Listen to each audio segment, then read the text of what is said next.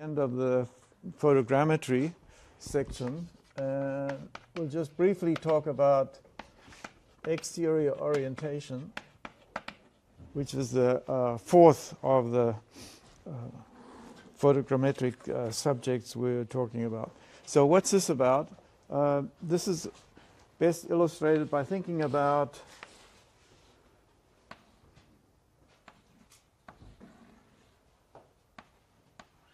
a drone uh, flying about some terrain uh, of which we have a detailed uh, model, so we know where points are in some global coordinate system.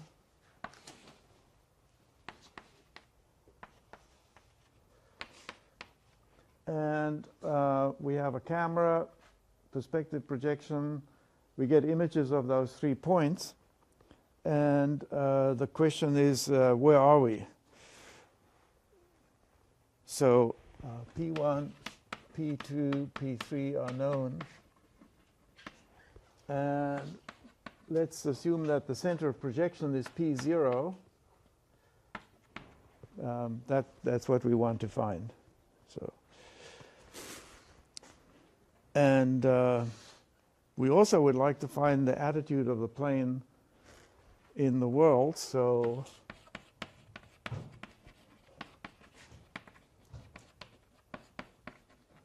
So it's the same old thing, uh, rotation plus uh, translation.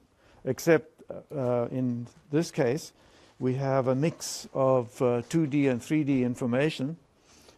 The uh, coordinates of the points in the world are given in 3D, so we have a terrain model.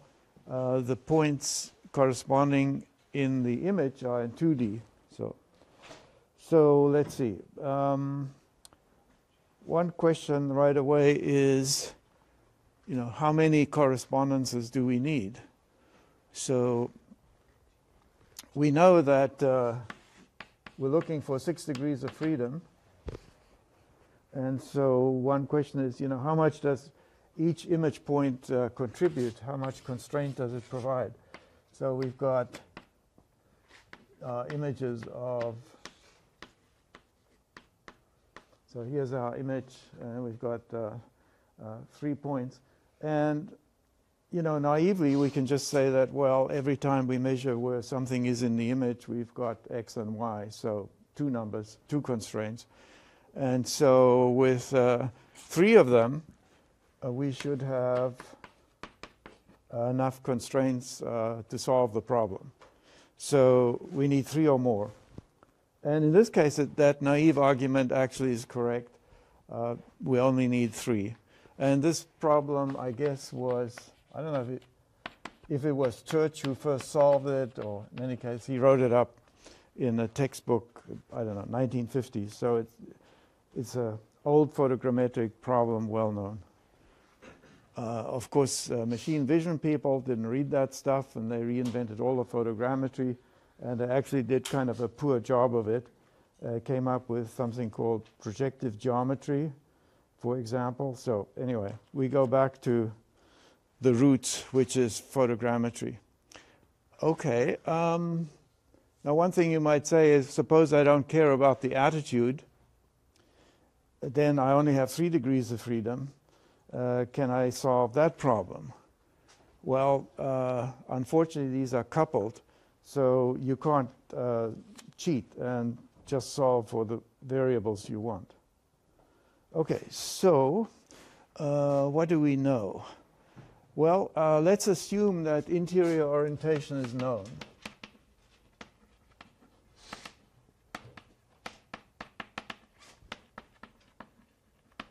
So that means uh, x naught, y naught, f are known. And so uh, then when we have a given uh, point in the image, we can just uh, connect image point to center of projection. And we have a ray in space. And we know that the object is along that ray in space. And, and we have that ray in the camera coordinate system, right? So with the origin at the center of projection and so on. Okay, so um, if we have uh, these three rays, it's sort of like you know having uh, three sticks, and you're trying to um, arrange for the sticks to go through three points in the 3D world. So you move around the position of the center of projection until that, that happens. That, that's sort of what we're doing. Um, so if we have the rays, we can calculate these angles. So let's, there are three angles. Okay, so those are known.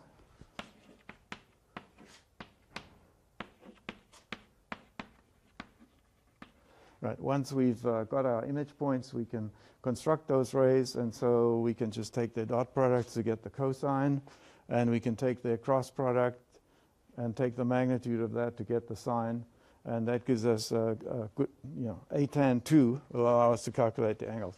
Okay, so we know those. So what don't we know? Well, what we don't know is the length of these legs of the tripod.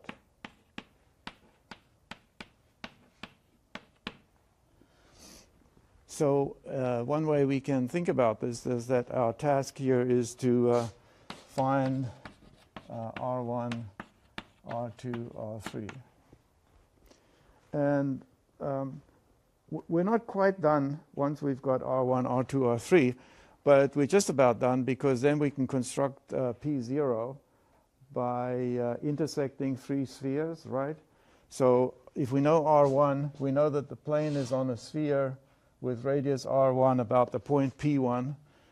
If we know r2, we know it's on a sphere with radius r2 about point uh, p2, and two spheres intersect in a circle. So we're not done. We ha don't haven't quite solved the problem. So then we take the third one. There's a sphere of radius r3 about uh, p3. We intersect that circle with that sphere, and we get uh, two solutions typically. So there's potential ambiguity. Um, but basically, uh, we then have solutions, and, and if we have more than three points, we can resolve the ambiguity. You can also see there's going to be some ambiguity just by, uh, you know, thinking about, suppose we have the length of those three tripods. Um, you know, is there some other position than the one I've shown where those lengths would be exactly the same? So think about moving that airplane somewhere else. You know, we're claiming that with three, we've got a solution, uh, possibly, however, more than one solution. So where could the plane be and those lengths would still be the same as they are there?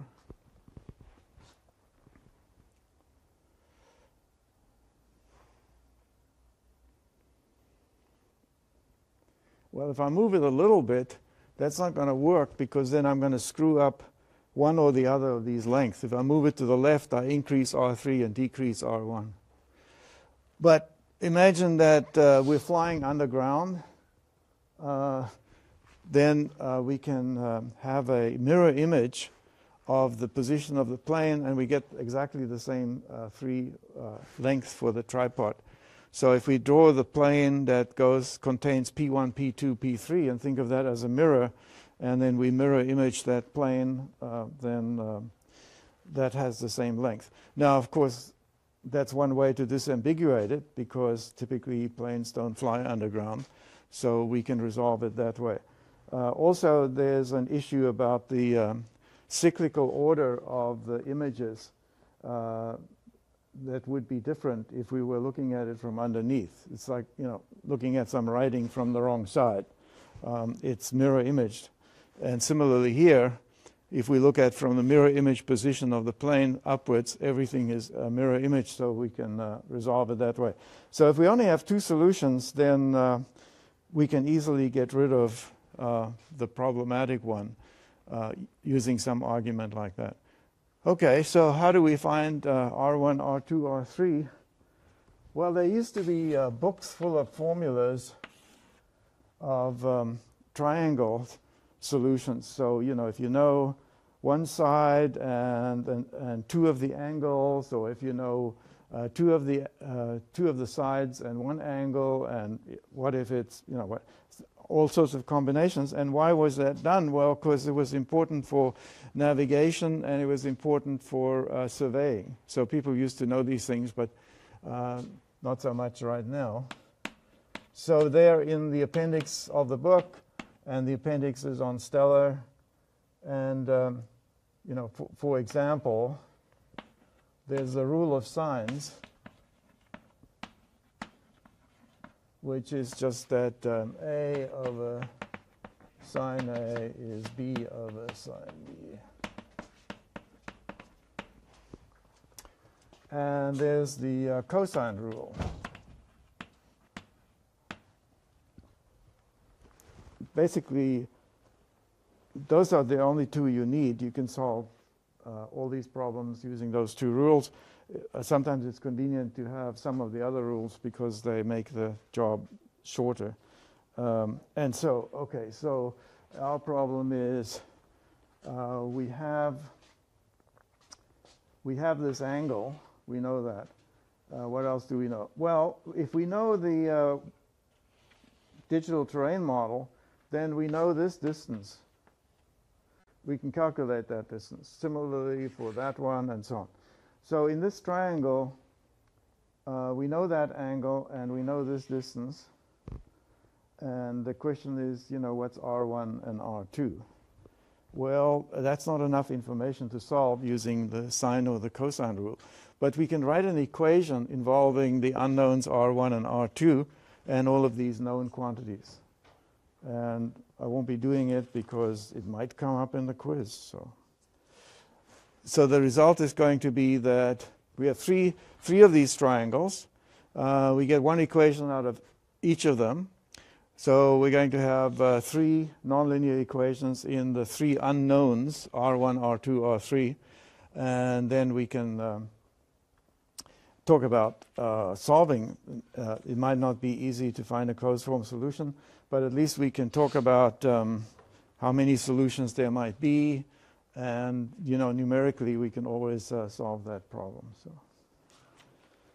okay, that's uh, R1, R2, R3, and then as I said, uh, we still need to intersect those spheres, so a little bit of algebra there, and then we have the position of the plane.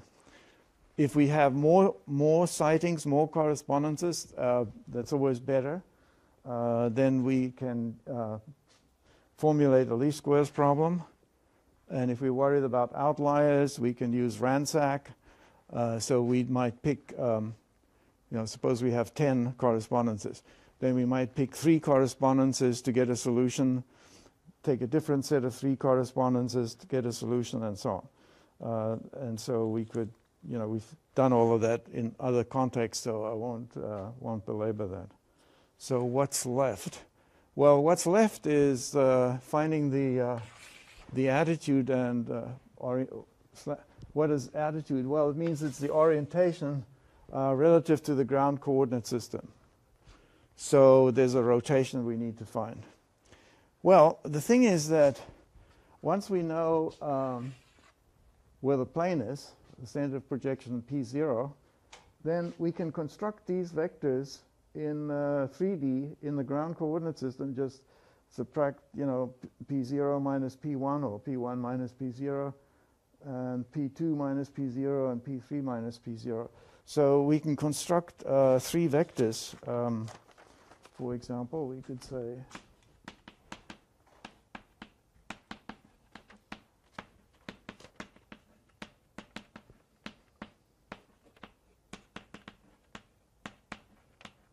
And this gets rid of the translation. We're only interested in the directions.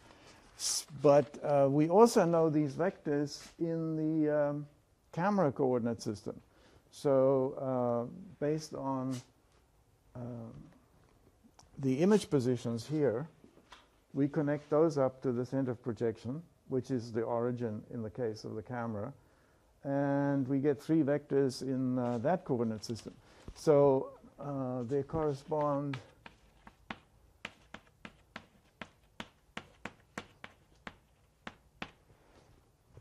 uh, three vectors in the camera co uh, coordinate system to those three vectors in the world coordinate system. So uh, that's pretty heavy constraint. That means that uh, we should be able to relate those two coordinate systems. And we know that uh, we've taken out the translation. So all that's left is a rotation. And so depending on which way we go, you know, are we interested in a transformation from the camera coordinate system to the world coordinate system or to the world coordinate system from the world coordinate system to the camera coordinate system? But we're going to end up with uh, something like this. Now, of course, these vectors may have different length if we just do these subtractions. We're only interested in the direction, so unit vectors. And so for we expect that. And, as I said, it could go the other way around uh, from uh, the um, uh, world coordinate system to the camera system. Um, so we have three equations like this, and what we're looking for is R. And let's represent it as an orthonormal matrix in this case. Um, well, we can uh, stick these three equations together into one matrix equation. Right, so we have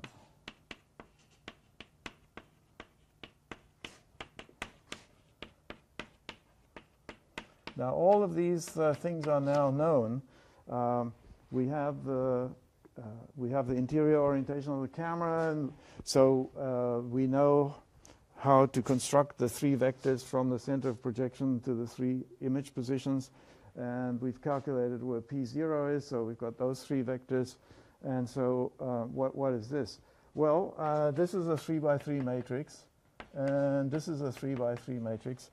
The first column of which is the vector A1, the second column is A2, the third column is A3. So we have a product and uh, of 3 by 3 matrices, and uh, we can just solve for R by, doing, by inverting one of them. So very straightforward. Interesting question is, um, is the result orthonormal? So uh, I'll leave that uh, unanswered question. Okay, yeah. Uh, so A so it's simply uh, P1 prime, P2 prime, and P3 prime. So A, A1 is P1 prime. Because the, in this coordinate system, the other end, the center of projection is the origin, 0, 0, 0. So I take prime, subtract. So that's the ray to that point in the environment as seen in the camera coordinate system. And uh, as I said, uh, you know, this is the minimal case. We just have three correspondences. In practice, we would like to have more, get better accuracy, and then we use uh, least squares, and there's no longer a closed form solution. Um, and but we can use this to get started. Uh, just pick three of the answers, three of the correspondences to get an initial guess, and then have some uh, iteration that minimizes the least squares errors. Uh, just make sure that what you minimize is in the image plane, because this is where the measurement error lies, uh, not some other arbitrary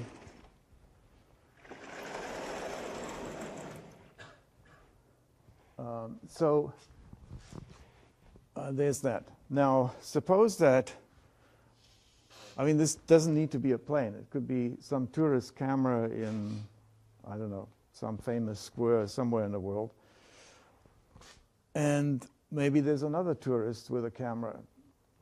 And so there's a related problem. So here's one camera position, and here's some famous sculpture cathedral, whatever. And here's another camera position. Here's another camera. And, you know, there could be uh, hundreds of these. And you may have seen the results of this. And uh, in this case, we do something called uh, bundle adjustment. And again, uh, this is an old photogrammetric problem, uh, which machine vision people have uh, rediscovered and make a, made a hash of, but they did finally get it right. And so, what's the problem? Well, it's a nonlinear optimization.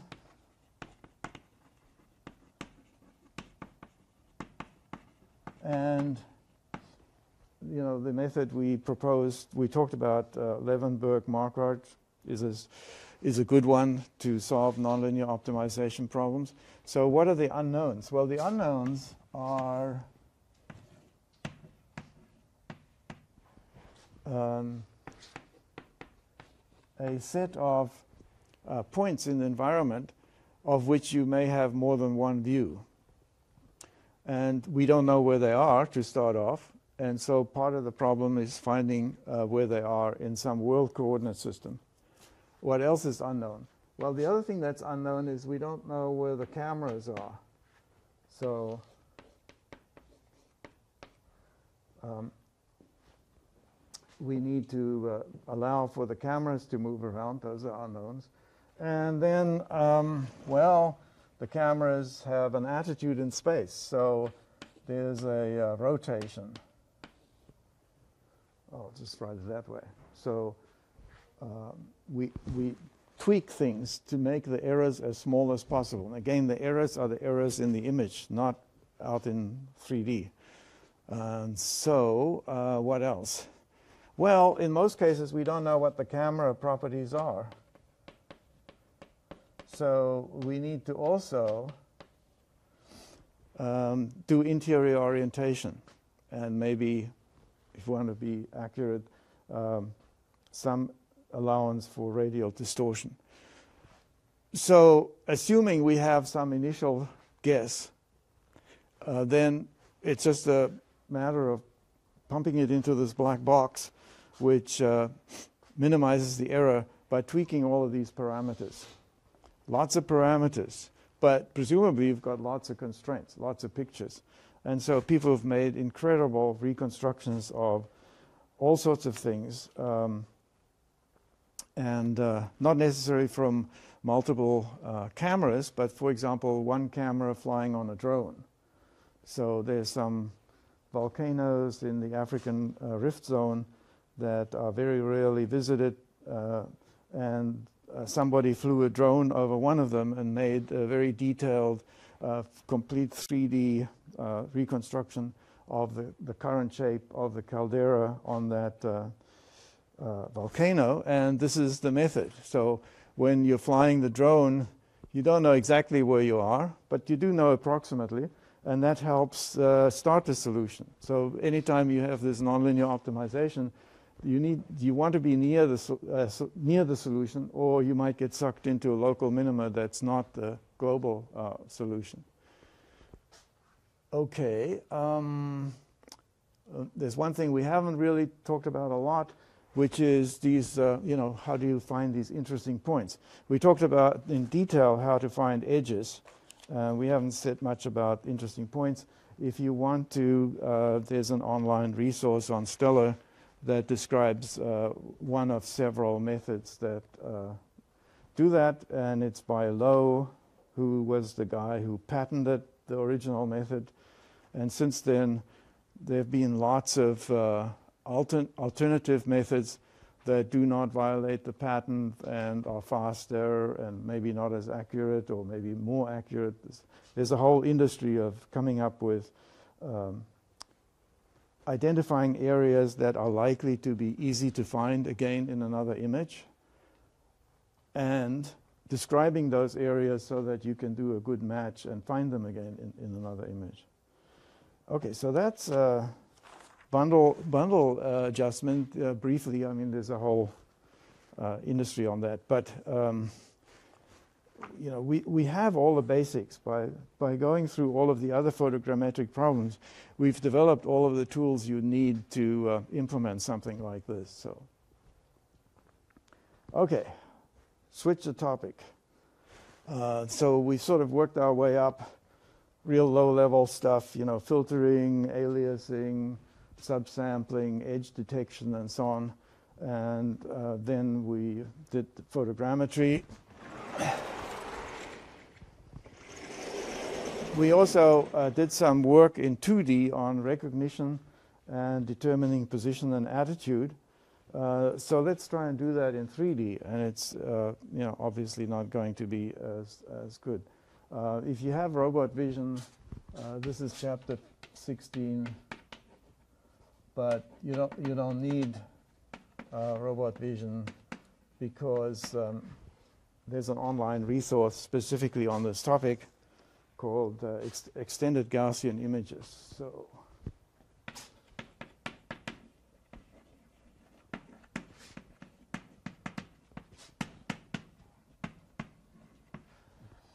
So uh, what are you trying to do? Well, uh, we're trying to describe 3D objects.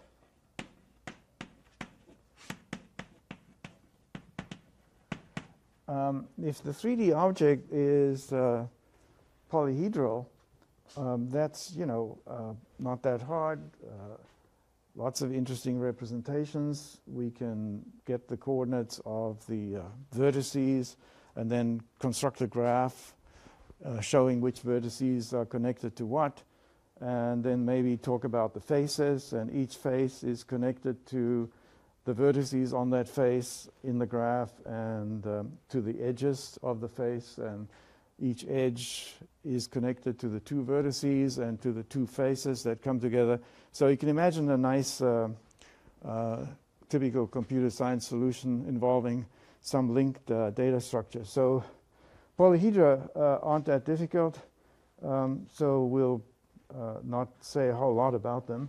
And you know, in a derogatory way, they've been called uh, blocks world problems because they're you know like children's blocks. So that's where we started in the 1960s, and uh, hopefully we've progressed uh, from away from that. So, what other uh, representations can we have? Well, you know, we look at graphics. And um, they typically will use uh, meshes, which are just perfect uh, for that application. So we can approximate any curved surface. So we're interested in curved surfaces now that we've given up on talking about uh, blocks world. And uh, we can represent uh, any curved surface uh, with whatever precision we want by approximating it by a polyhedral surface with lots of facets. And uh, that works great for rendering because for each of those facets, we can determine the surface normal easily by just taking a cross product of two of the edges, and we can get the edges by subtracting vertices. So it's a very straightforward calculation. And then we use a reflectance map or something like that to figure out how bright to paint that little facet, and so on. So it's uh, very convenient for output of pictures. Um, but what about the things we want to do? So what is it we want to do? Well, uh, a couple of things. We'd like to find uh, where things are and how they're rotated in space. And I guess we call that uh, pose. So that's position and orientation. And the other thing we might want is to uh, do some recognition.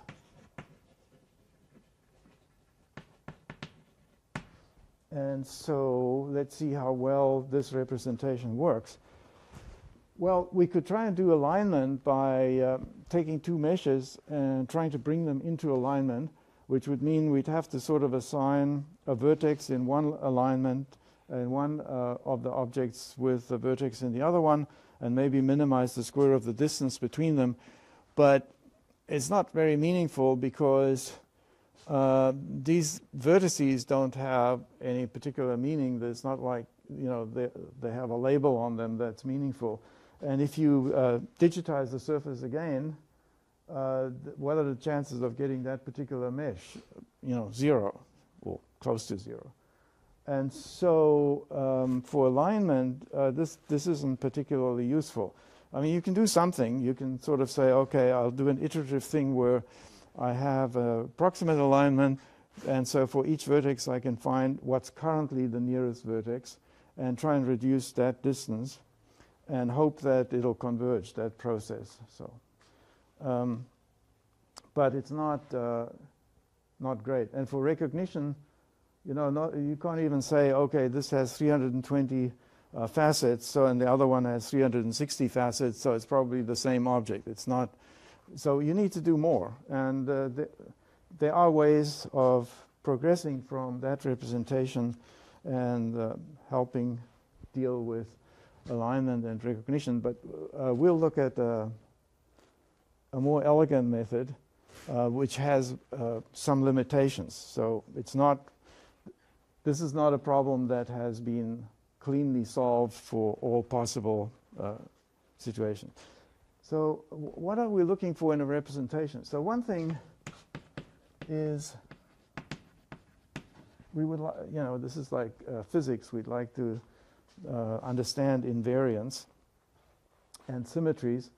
So uh, what kind of invariance? Well, um, what I'd like is that if the object moves, uh, translation, then um, the representation doesn't change well in, in a significant way.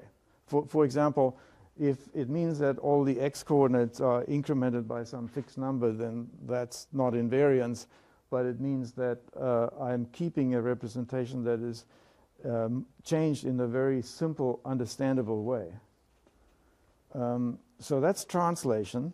And you know, one way I can deal with that is say, well, just reference everything to the centroid of the object. And that gets rid of the translation component, and I've solved the invariance uh, problem. Then uh, rotation. Okay, so what I'd like is that now, of course, if I rotate, it's likely the representation will change, but I would like it to change in some understandable, systematic, simple way. If I consider, for example, perspective projection images, they don't change in a simple, understandable way. As we know, if we take a, a, a 3D object and we rotate it in front of a camera, we get images that are not simply, you know, simple uh, changes from a previous image. That there's a uh, that perspective projection induces a, a, complex, messy transformation. So if I then want to recognize the object or I want to align it, that's not a good representation because the transformation is uh, very complex. So I can't have rotational invariance, or rather, actually, I don't want it because I'm going to try and recover the rotation. Uh, but what I'd like is that when you rotate something, the representation changes in a very understandable, simple uh, way that I can exploit to uh, both uh, handle the recognition and uh, re recognize, handle the um, alignment problem. Okay, so now there are lots of attempts at doing this, finding a representation that satisfies those criteria. Uh, let, us just look at one. Um, so this is general, generalized cylinders.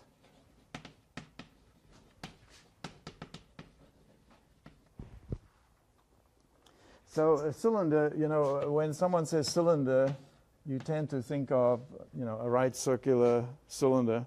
Uh, that is one that has a circular cross section and it's obtained by uh, sweeping a generator along a straight line. So in this case, we can think of this object as created by uh, taking a circle and moving it along a line and you know perhaps uh, even more constricted that circle is perpendicular to the line and so we generate that, that cylinder. So that's the most strict definition of a cylinder. And we can generalize it a little bit by changing the shape of our gener uh, generator. And now we can generate more complicated shapes. Um, but they still have the property that the, the cross section anywhere is the same. If I cut it perpendicular to the axis anywhere along the length, I and I guess the mathematical definition of uh, cylinder uh, allows for that version. Um, now I can introduce a couple of other things. One of them is I, I can tilt the generator relative to the axis. Well, that doesn't do a whole lot. That's sort of like just a foreshortening transformation. But suppose I allow the size of the generator to vary as I, as I go along. Well, then I can generate uh, cones, for example. So again, we're sweeping along a line, and now we're allowing the size to change. Um, then um, we can allow the uh, line along which we sweep to be curved.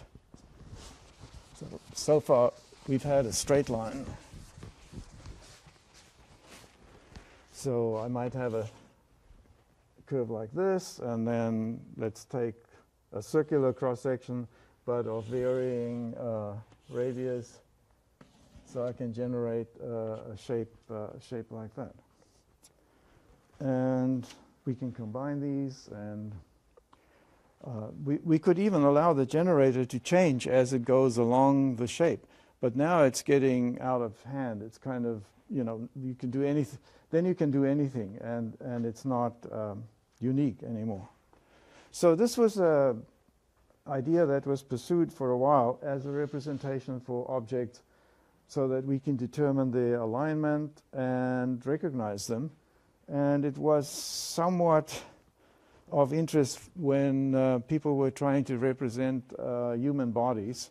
So you could imagine that you know you can represent uh, arms, uh, parts of limbs as generalized cylinders, uh, and then uh, kinematically link those together and build a, um, a 3D model that was kind of like a, an artist's wooden puppet that would have uh, parts that were each individually generalized cylinders. So there, there's some problems with this. So one, uh, one is that um, in order to do recognition, you would like the representation to be unique. Uh, it's going to be harder if there's an infinite number of different ways of uh, describing the same object. And you know, here's an example. Uh, here's a sphere. And I could uh, represent it as a generalized cylinder by having that axis and then circles that grow in size and, and shrink in size.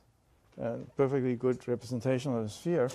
Unfortunately, you know, there's an infinite number of those because it could be this axis and um, and those circles. So, um, you know, the sphere is kind of a tough case in particular because of the symmetries, but uh, the same problem shows up uh, elsewhere. And in particular, when we allow for inaccuracies in the data, sometimes it's hard to tell the difference between objects that do have a sort of unique generalized cylinder representation and, and objects uh, that don't. So, th this went, you know, this was used a little bit. It's not been um, overly successful because of the reasons uh, we described.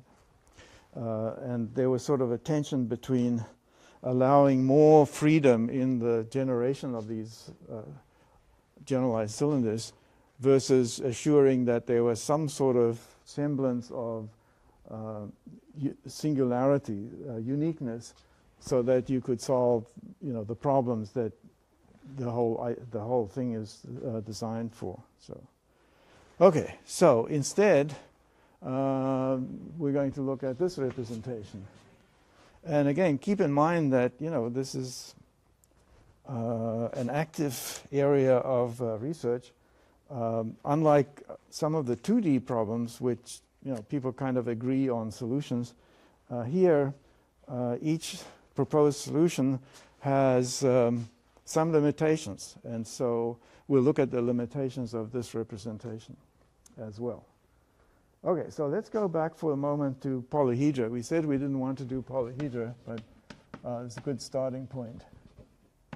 So, um, as I mentioned, one way to describe the polyhedron is to give the vertices and then a graph struct- uh, uh coordinates in 3D. I mean, there are other ways, but one way you could have a list of vertices with 3D coordinates and then a graph structure that tells you which vertex is connected to which vertex uh, which face has what edges and what and so on, that, that graph structure. But another way is to um, look at the faces and um, draw uh, unit vectors uh, perpendicular to them, and then multiply those by the areas.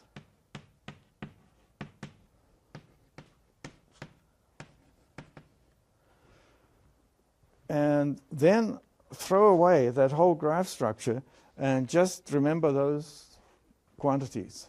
So we'd have a vector n1, which is that, and then a vector n2, which is this.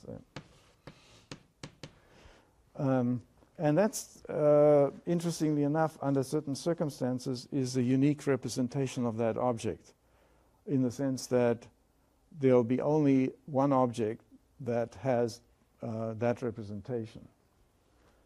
Um, and you know that's something we want because when we do recognition, we would like uh, uniqueness. We would like it not to match some other object. And it's kind of surprising because, you know, we've thrown away a lot of information. We've thrown away the relationship between the faces. We've thrown away actual coordinates, corners and stuff. And uh, yet, you know, here's a, a representation. And Minkowski has a uh, non-constructive proof long ago that this is uh, unique for uh, convex object, convex polyhedra.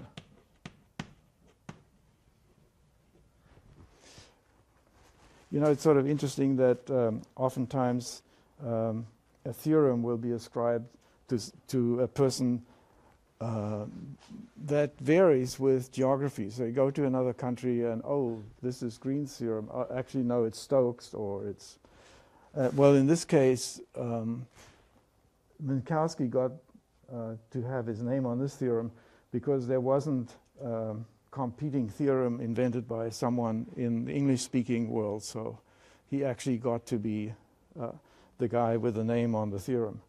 Um, now, interestingly enough, the proof is not constructive, meaning if you give me these three quantities, I can tell you there's only one convex polyhedron, that corresponds to those, but um, I, I, don't have an algorithm to construct that thing. And so, you know, there was some effort for a while in the machine vision world to um, come up with an algorithm. And I guess uh, Katsushi Ikeuchi came up with an iterative algorithm um, that would solve that problem in a very slow uh, fashion. But I guess people pretty quickly realized who cares? Because what's our job? Our job is recognition and alignment. It's not reconstruction. So if we describe the object using these uh, quantities, we want to compare those against the model library and match them up and figure out, you know, how do we have to rotate this object we're seeing so that it lines up with the model in our library. We're not in the business of saying, okay, we need to reconstruct this in 3D. I mean, we, may have already done that, but, but the fact that it's a non-constructive proof uh, doesn't, isn't the deterrent. It, it's uh, not important, not relevant. Okay. So um, how do I use this in a more interesting case? So this is just uh, polyhedra. Oh, and by the way, uh, it's not too hard to prove that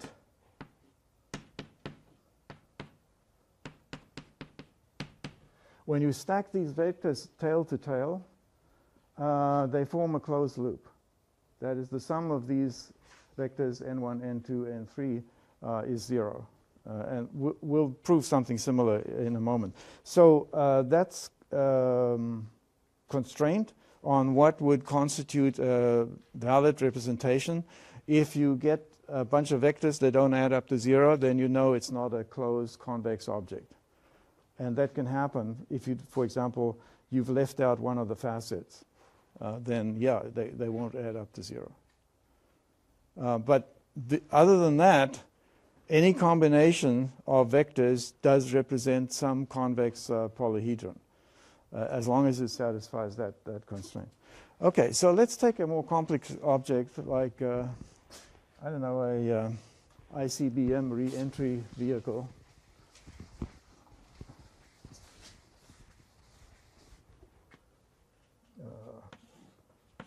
Somewhat simplified. There's a cylindrical part, and maybe there's a conical part, and I guess there's a flat part uh, that we don't see here that's on the back. So uh, what I can do is approximate this using our uh, mesh polyhedral representation. For example, I can uh, cut it up into slices such that the normal for all the points on these slices that, well, they're not exactly the same, but they have very little variation. And with a conical section, I can do that. Okay, so the idea is, I mean, I can make a much finer mesh, but I'm actually combining things that have similar surface normals. And then, then what do I do? Well, then I uh, compute uh, all of these quantities. Um, you know, I've had the area ij times the unit vector nij, and uh, I keep those. Now, of course, I've got to be careful because I just said that the mesh uh, representation isn't good because I might draw a different mesh. So now I go to unit sphere and I plot these vectors. Right? So each of them has a direction in space that then corresponds to a point on the sphere. And I put down uh, a mass at that point corresponding to the area of that uh, patch. And, you know, for example, if I divided the patches up more finely, I would have had uh, two areas half the size, but they co both contribute to the same point on the sphere. So that's why I could draw them this way. So, you know, I could cut it up into tiny little pieces. Uh, it doesn't matter. What's important is how much mass ends up on the sphere here. Okay, now let me do this for the whole cylindrical surface. Well, the surface normals for the cylindrical surface, you know, keep on turning, but they're all in a plane that is perpendicular to the axis of the cylinder. So then imagine cutting that sphere with that plane. I'm going to get a great circle. So I'm going to put down masses all along this great circle. Uh, and that's the part of the representation that corresponds to the cylindrical surface. Right, again, so for example, over here, there's a unit vector that points out that way. That's going to be on the sphere, you know, somewhere here. And I put down a mass. And in this case, the way I've cut it up, all of these masses are the same. Okay, uh, what about the conical part? Well, same thing. I construct a unit vector I take into account the area, let's call this BI, and I don't know, MI, just for variety. Um, and that ends up on the uh, unit sphere somewhere, and I put down a mass there. And now if I consider all of the facets on the cone, you know, the surface normal will change, but, um, and it's no longer, uh, they're not in a plane. But if you think about these surface normals, they form a cone themselves with the complementary angle of the cone. So then I cut the sphere with, with that cone, and I'm going to get a small circle. So if you think about all of the facets of this cone, they will all contribute to points on the sphere uh, on those uh, on that small circle. Okay, and then, uh, well, there's a piece missing. Uh, if I want to describe the whole surface of this object, which is the plate at the end. Okay, and the plate at the end is going to end up, you know, behind, but somewhere on the sphere, there's got to be a big, a big uh, mass that corresponds to that area. Uh, why is it big? Well, because everything in that area points the same way. So um, that whole large back plate area contributes to mass at a single point. So it's like an impulse. Uh, and there's my representation. So for a um, uh, non-polyhedral object, and you can see now um, how uh, we could use this in various ways for the task we've uh, set ourselves alignment and recognition. So we could have uh, a library of objects, and uh, for each of them we pre-compute this representation, and then uh, we can do a comparison. Now the comparison is not, you know, least squares in the plane. It's on the sphere, so it's going to require a little bit of thought about how to implement that. But basically, we want to get them lined up so that where this one has a lot of mass, the other one has a lot of mass. And so you could imagine inventing some sort of measure of uh, how, how they correlate, how well they uh, match up. And that can then be used in two ways. The one is uh, orientation. So I'd have to take one of the two representations and rotate the sphere until things line up as best as they can. And for recognition, I then do the subtraction to see how well they uh, match up. And so, you know, this representation uh, does provide for the two tasks that we, uh, we uh, described. Uh, lots of details uh, to fill in. Um, then we said that we wanted certain properties. one of them was, you know, quote invariance or simple transformations resulting from translation and rotation. Well, first, uh, translation doesn't get into it because um, we've, we're only looking at surface normals. So if you take this object and you move it, uh, we get exactly the same representation. So it's invariant to translation. Uh, rotation, what about rotation? Well, rotation has a very simple effect on this uh, representation. If I rotate this object, I'm just rotating the normal vectors, and that means that I'm rotating where they end up on the unit sphere, so it's just like rotating the unit sphere in an equivalent way. So the change uh, in the representation resulting from rotation is uh, very simple, very intuitive, um, easy to understand, easy to implement. Uh, and so it satisfies uh, that, that constraint. Um, so in general, what we're going to be dealing with is kind of a density. So uh, crudely speaking, if I have a certain mass here, that means there's a uh, area on the object equal to that mass that has that orientation. So it's like the mass at any one point here tells me uh, the area that has that orientation. In the, in the case of discrete facets, uh, in the case where I'm taking the limit and taking a continuously curved surface, what I'm dealing with is uh, density. So uh, the density of points on the surface uh, tells me something about the curvature, right? So if the uh, object is uh, highly curved, then neighboring surface normals will be pointing in very different directions, and that means that they'll be spread out on the sphere and we get a low density. So low density corresponds to high curvature, and conversely, high density corresponds to uh, low curvature. And you know we can see this right here, where um, the thing with the lowest curvature is the plate, the end plate, and it gives a huge contribution to the sphere because it has very low curvature. Okay, and, and, of course we'll have to say what we mean by curvature because this is 3D, so it's a little different. Now, one way to get started on this is to uh, look at a 2D version of this first.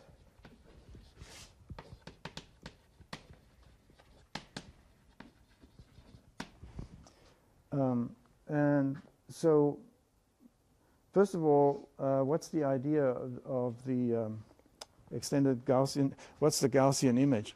Well, uh, the important uh, thing to keep in mind is the relationship between points on the object and points on the sphere. What do they have in common? It's the surface normal. So if I uh, want to find the part of the sphere that corresponds to this particular patch of the surface, I just find the point on the sphere that has the su same surface normal. So the um, uh, go back to 3D for a moment. Suppose we have the, an Earth that is not a sphere, and we'd like to uh, draw a map that's based on uh, spheres. well, then we have to we have some way of mapping uh, between them. And um, you know, there are lots of conceivable ways. Well, Gauss came up with one, which is basically to say, I'm going to map this point to the point on the sphere that has the same direction of the normal, right? And that's the one we actually use, right? Because if you if you are saying uh, we're here at MIT at 42 and a half degrees latitude, um, that is not this angle, right, from the center of the Earth, which we sometimes mistakenly say. What it is, it's this angle.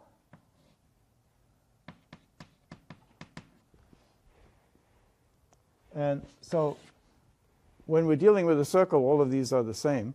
But when we have some other shape, we have to be clear about which uh, directions we're talking about. And uh, in this case, uh, we find that the one that's, you know, why do we use this? Well, because it's easy to determine. You've got uh, gravity uh, pointing perpendicular to the surface, and then you have um, rotation about the celestial sphere, so you can determine the uh, north celestial pole um, or you can look at where the sun is and what time of the year it is, and that, that's the angle you're, you're going to measure. Now, there are you know, subtleties there like um, the centrifugal force, the uh, uneven distribution of masses in the Earth, and so on. But okay, so Gauss basically said one way of mapping between an object, the convex object of arbitrary shape, and the unit sphere is to just identify points that have uh, similar uh, have the same orientation. And that's point to point. Well, we can generalize that to shapes. So, you know, suppose that we have uh, Africa here, then we can map it onto the sphere. And uh, why is that convenient? Well, because lots and lots of clever methods exist for mapping spheres onto planar surfaces for map making. But the first step is you need to convert it from the ellipsoid uh, to, uh, to the uh, sphere. So, okay, so uh, how do we do it? Well, for every point here, we look at the surface normal and we find the point over here that has the same surface normal. So that's the basic idea of the mapping. Um, it, we make correspondences between uh, points that have the same surface normal. And you can see that this mapping is actually invertible. So if I'm on the Earth, on the sphere, and I want to know, you know, what point this uh, part of Madagascar corresponds to over here, I just find um, I just find the point that has the same surface orientation on on this other convex shape. So um, as long as it's convex. Now there's a problem when we have non-convex shapes because there might be more than one point that has the same surface orientation.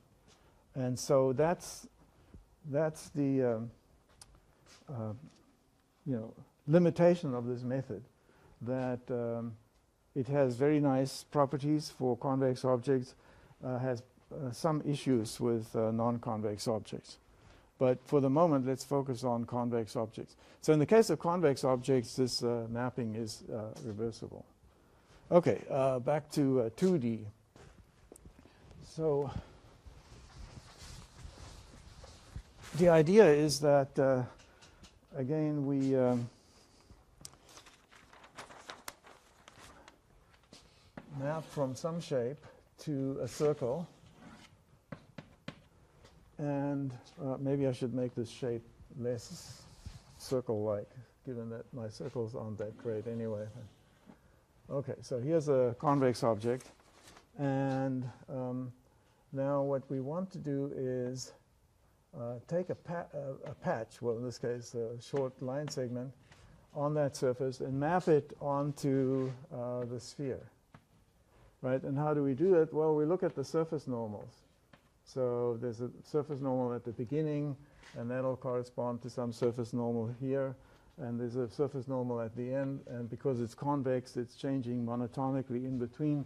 So that whole range of surface normals in between maps into uh, the whole range of surface normals here. and we'll just uh, parameterize that uh, unit circle in the plane by uh, the angle uh, eta. Okay, and so what do we want to do?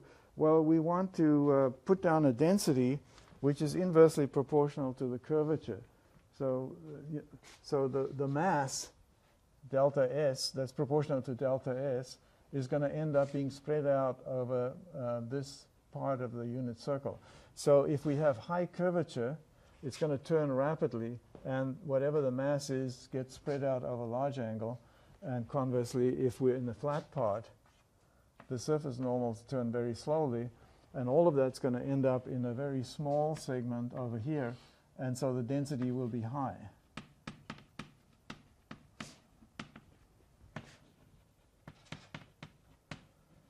And so we're going to end up with a continuous quantity of that angle. And that's the thing we're interested in. So first, um, let's pick some arbitrary point. So S is the arc length along the curve from here to there. And then again, these normals are parallel, so this must be angle uh, eta. And so uh, what we're interested in is uh, curvature. Let's start with that. Um,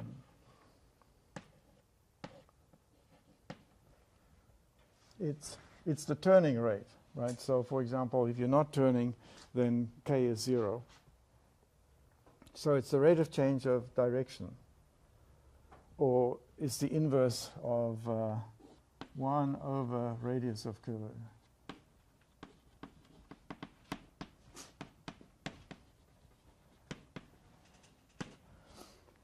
Okay, and then the density is going to be the inverse of that. So the density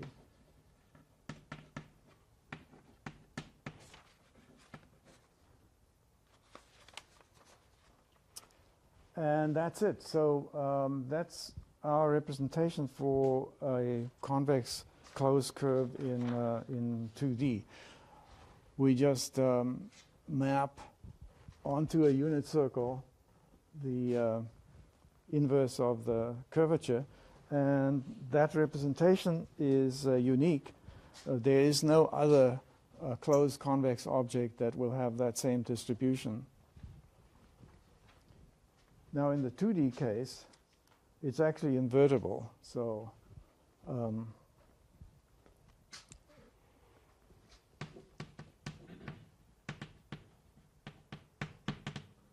Now you can see how you could make a transition from uh, you know discrete case to continuous case.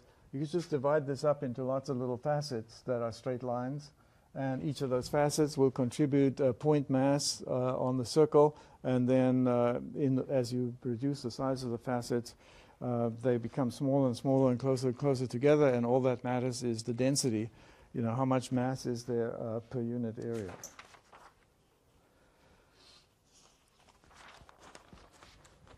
Okay, and we call this thing G for Gauss.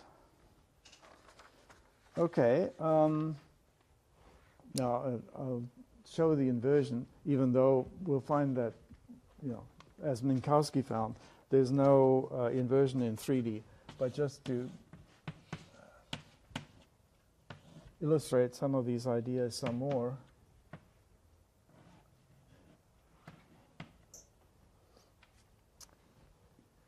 Okay, so um, we're at an angle eta, and delta S is going to be perpendicular to that. And so when we make a small change, we get delta x is minus sine eta delta s, and delta y equals cosine eta delta s. Uh, right, because uh, we're going to move back by an amount delta x. If I blow this up,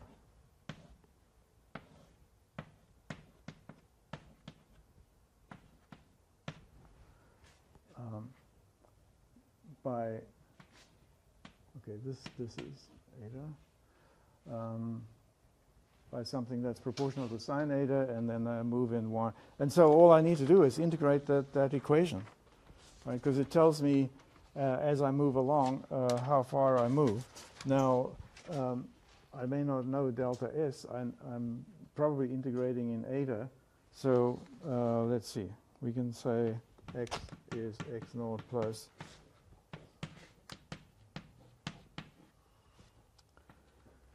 and then change variables.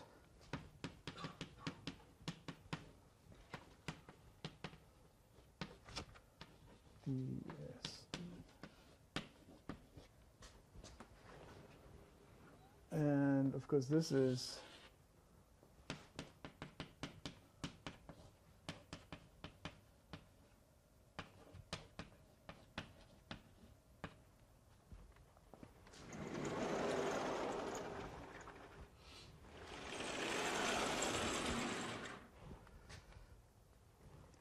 And similarly, there'll be an equation for y.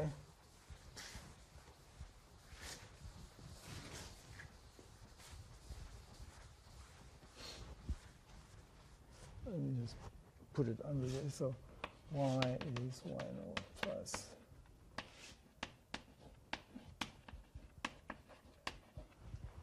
So in the 2D case, um, I can invert it I can actually obtain the convex object that corresponds to that circular image. Uh, as uh, mentioned, that's not the case at, um, in 3D. Uh, while we're there, I've been a little bit sloppy about limits. I haven't put them in, but um, we, you know, we can do that. And one question, interesting question is, uh,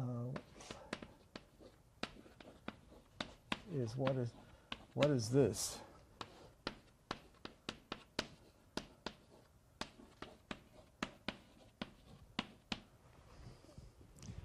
Right, so those are the quantities that appear there. I start at x0 and I do this integration and I construct this whole supposedly closed convex object and so I should get back to the same point, right? So therefore that integral better be zero when I go all the way around the loop. Right, so again, because I start at x0 I integrate uh, over the whole curve, I should be back, uh, assuming it's a closed curve. So we're assuming that it's a uh, closed convex curve. Uh, then those integrals are um, uh, beta be zero. And so, so that means that the uh, centroid of that mass distribution I keep on coming back to thinking of it as a mass distribution. There's a density on the circle or the sphere uh, is at origin. Right, because um, these are really, you know, the integral of x, g, blah, blah, blah, and, the, uh, sorry, yeah, x, and this would be y. So, uh, so the integral of x weighted by this thing is zero, and the integral of y weighted by that thing is zero. And those are the moments, the first moments you use in calculating the centroid. So this means that, okay, uh, this mass distribution on the circle um, has to have a special property, which is that, you know, there may be more here and less somewhere else and so on. All of that's fine, uh, but it better have um, the property that it's uh, centroid is at the origin. So that's one limitation, which is exactly the same uh, as what we had in the polyhedral case, that the sum of those vectors was zero. It's the same statement, really. So, but uh, so that's a limitation on what sort of distributions are legitimate. Uh, but that's it. Other than that, you can have uh, your masses uh, arranged any way, any way you want. Okay, so let's look at an example all very well in theory. Um, let's think of a, circle of uh, radius r. Always good to start with something uh, really simple. Well, in that case, the curvature, what's the curvature? So the curvature is k is d eta over ds. So um, uh, how do I find out? Well, uh, one way I can think about it is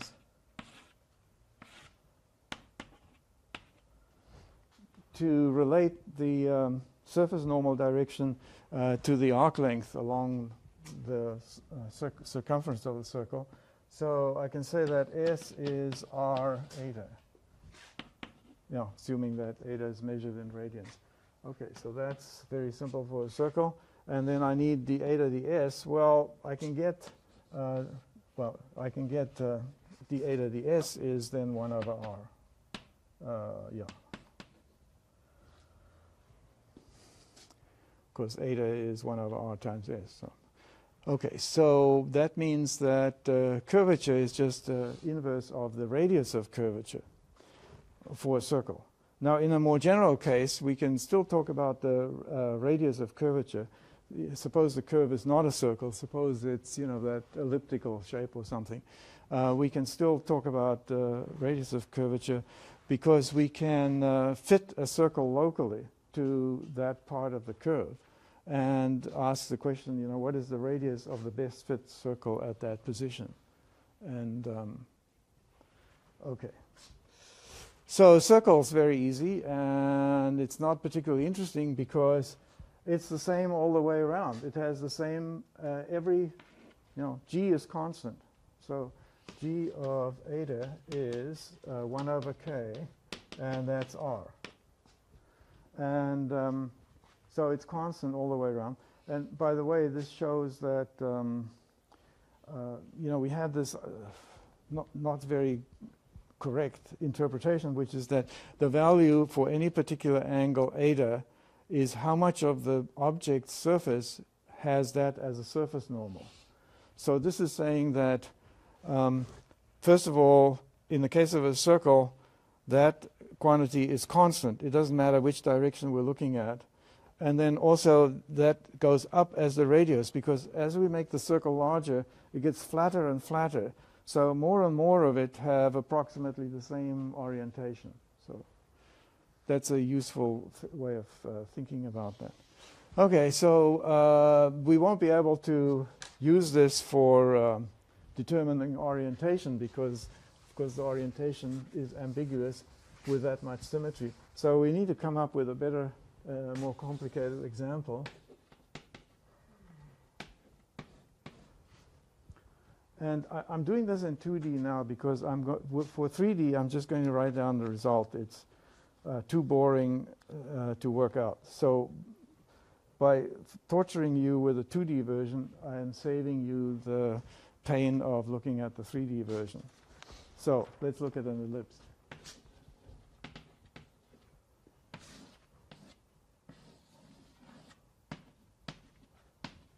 And you know we'll line it up nicely so the equations come out easily. The center of the ellipse is at the origin, and the, uh, the main axes are lined up with the x and y axes. And of course, we know that one way we can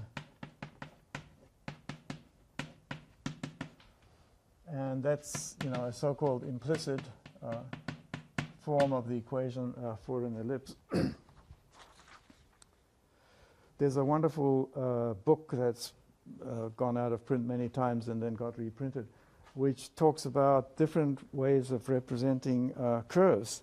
And you think, well, you know, there's one and there's perhaps another. No, there, there dozen, there a dozen that are commonly used and dozen more that are less commonly used. So loads of representations, and uh, we we don't teach much about these them these days, but um, uh, Here's another, which is more useful for our purposes. Okay, so what is this? Well, we can think of this as a squashed uh, circle. Uh, so we basically uh, multiplied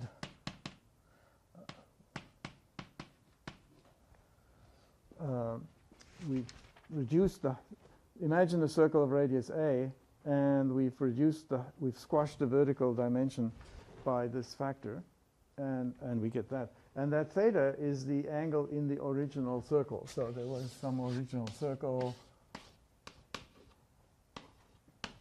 and we somehow squashed it to, to produce that. So the theta is not an angle in that diagram. It's, a, it's an angle in the diagram uh, of the non-squashed version. Okay, but you can see that if you take x over a squared and y over b squared, you'll get 1. So, so that is, uh, and that's kind of in many ways a more convenient representation uh, because you could use it to generate the cir circle. Right, with this one here, you know, how do you generate the circle? Well, I guess you could try all possible x and y's, and some of them will produce 1 and some won't, and you can put down a point there. But if you want to draw it, this is much more convenient because you just step through theta and compute, uh, you know, a point, um, a polyhedral approximation of however fine a detail you want. So, okay, so that parametric representation is uh, great, and that relates to the Earth as well. Uh, this Earth can be thought of as a sphere that's squashed in the vertical direction. And um, just remember that those angles aren't the same, just as we talked about, that's not latitude, and it's not geocentric uh, uh, uh latitude either. So, uh, uh, oh, and by the way, the, if we needed the area, it's pi times AB, and you can check that that works for the limiting case where we are dealing with a circle. So, what do we need to know?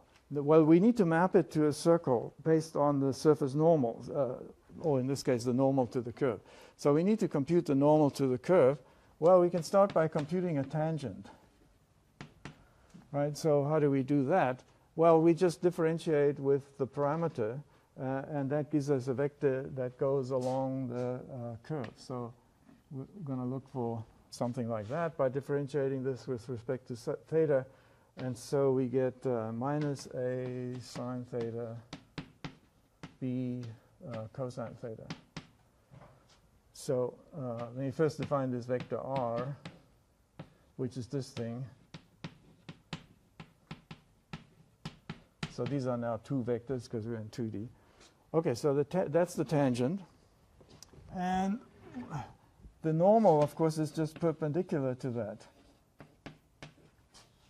And so how do I do that? Well, I flip x and y and change the sign.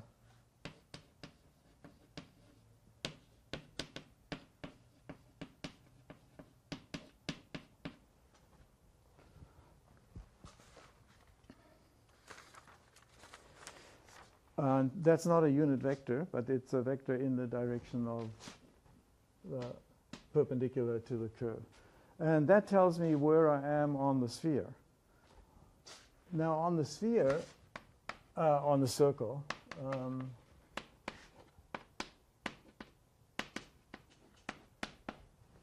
I have that.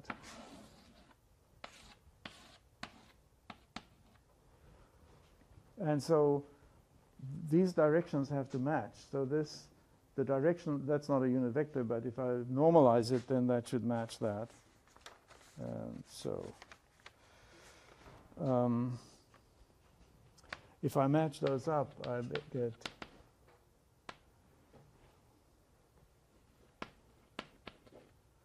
uh, let's see, a sine theta.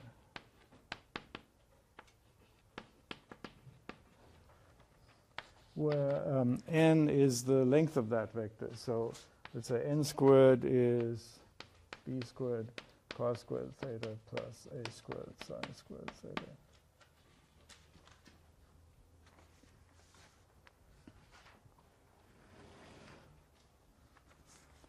Okay, well, um, let me just define another vector.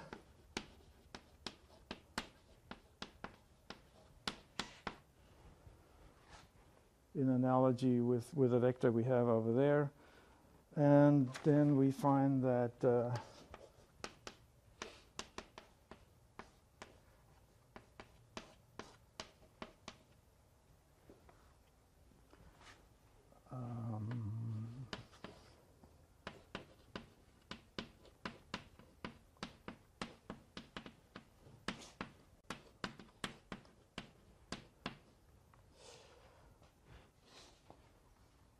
And, you know, the details of this aren't terribly important, um, just algebra.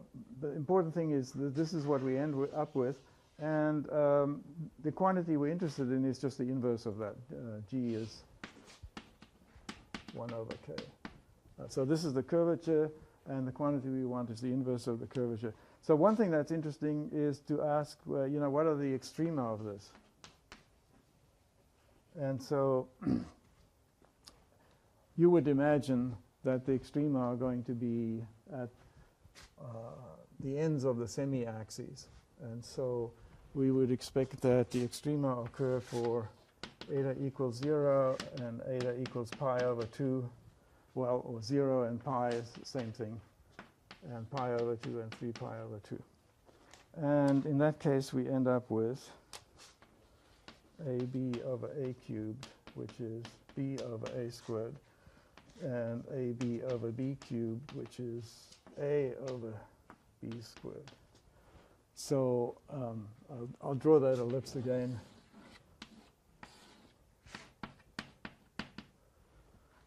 Um, let's see, a, a is the large one. So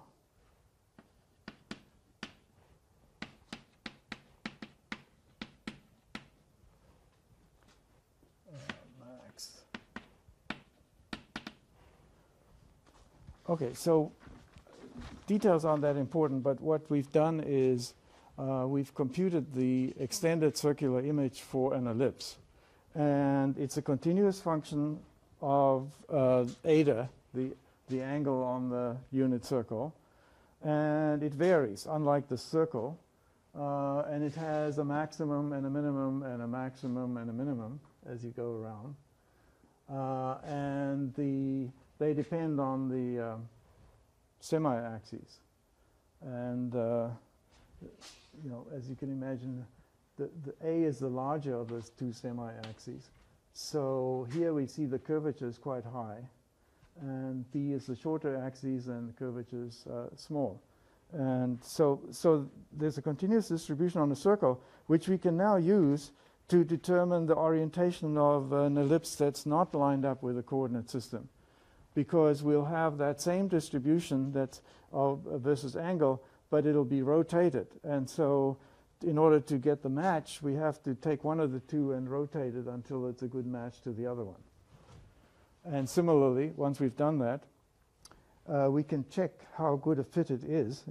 And if it's a good fit, then we do in fact have an, an ellipse. Uh, if not, well, then the object's not an ellipse. And so if we have a library of objects, what we would do this is uh, do this calculation for each object in the library and find the one that is the best match.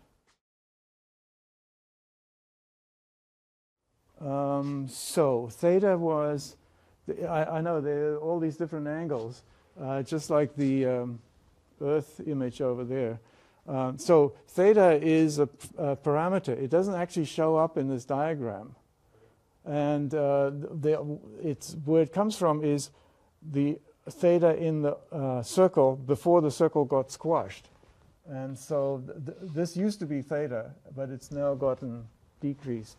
Uh, whereas eta is the uh, position on the, on the sphere. So we map uh, from um, uh, this space onto the unit sphere of directions. And um, Right. So there's a relationship between the two, which uh, let's see, it's something like uh, B tan. I've got it somewhere.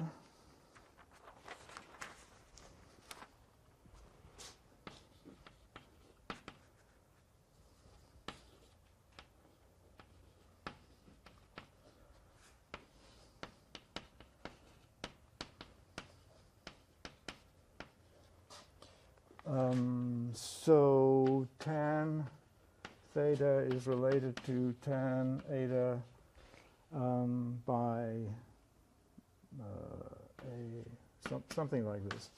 Uh, and this is a, if I got it right, this is a uh, important formula used in geodetics because it relates the um, angle at the geocentric angle, the angle at, angle we make at the center of the Earth to the angle uh, of the latitude that we use for computing latitude. So Uh, and in the case of the Earth, the difference is not very large.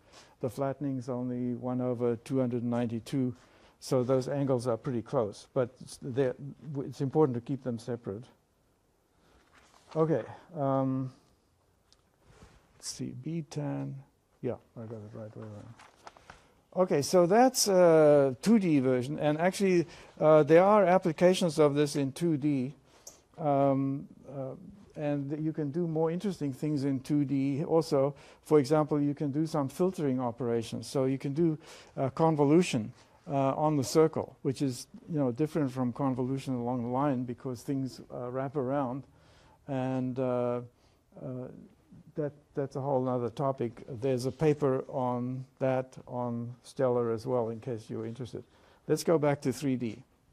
That's the problem we're really interested in. And so uh, we start with Gauss mapping, uh, which basically connects points on the surface to points on the unit sphere based on surface normal orientation. And that's for points and then we extend that to shapes. So we might have um, some some object here, and there's a shape there, and then there's a corresponding uh, shape over here. Uh, they're related in that um, every point here has a surface normal, and that gives me a point in, in that patch. So let me call this the object, and this is the area uh, delta O for object, and this is the sphere, and this is an area delta S. And the uh, curvature is just defined as, or, or, or the limit of.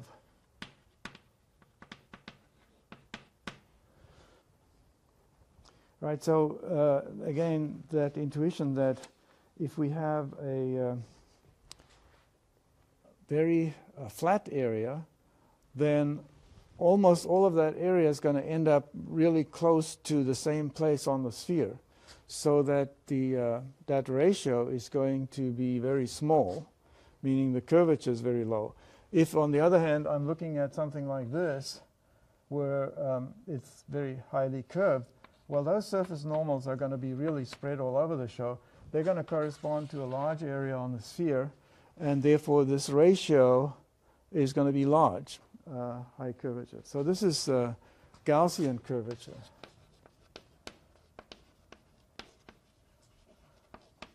Now, curvature in 3D is more complicated than in 2D. So this isn't the whole story about curvature.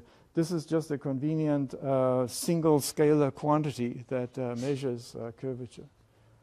Uh, by the way, if I go around the circumference of this area in a certain direction, I'll go around the circumference here in the same direction.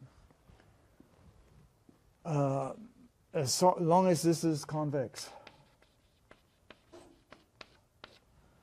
Okay, uh, what about non-convex surfaces? Well, if you think about uh, what's a non-convex surface? Well, like a saddle point or one of our hyperboloids of uh, one sheet. Right, so saddle point, uh, think of a Pringle chip. So uh, here's a surface with um, negative curvature. And if we trace around the surface normals around the outside um, and plot those on the sphere, they will actually travel in the direction opposite. So for non-convex object,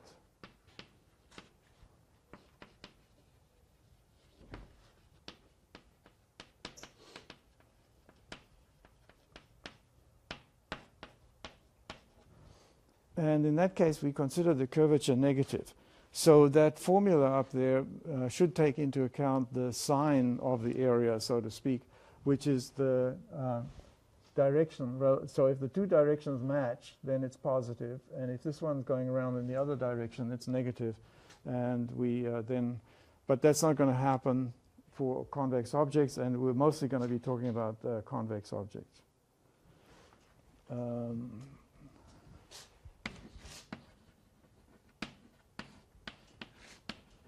So um, take a very simple example.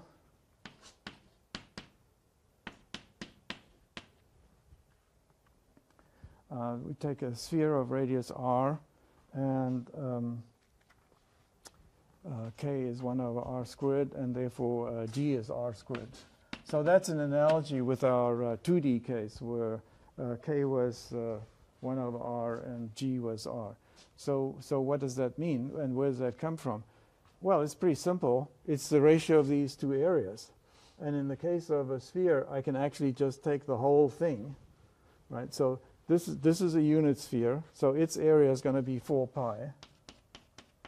And this is a radius, this is a sphere of radius r, so its area is 4 pi r squared.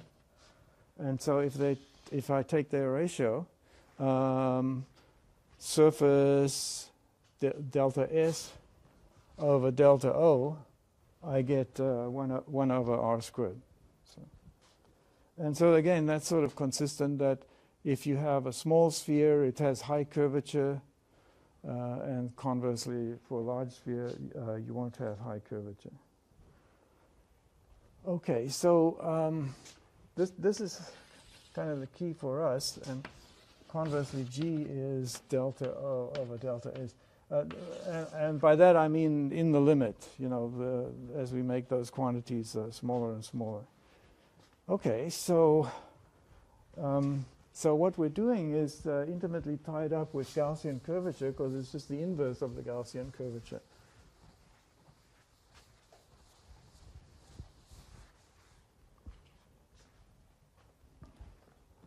Oh, I guess we're out of time. But one of the interesting things we can do now is talk about integral curvature, which applies to surfaces that are not smooth. So suppose that uh, we're looking at a brick it has a rectangular corner. We can't really talk about its curvature because it's sort of zero on the faces and infinite on the edges.